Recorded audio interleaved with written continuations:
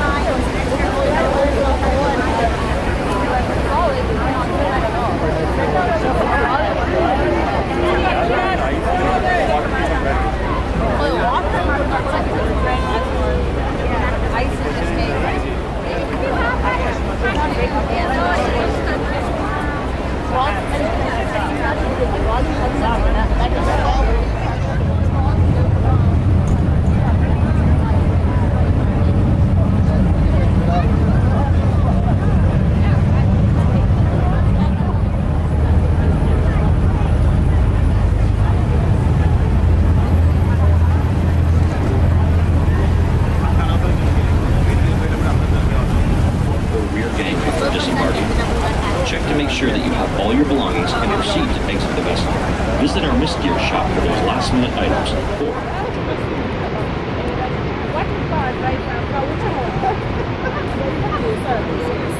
Or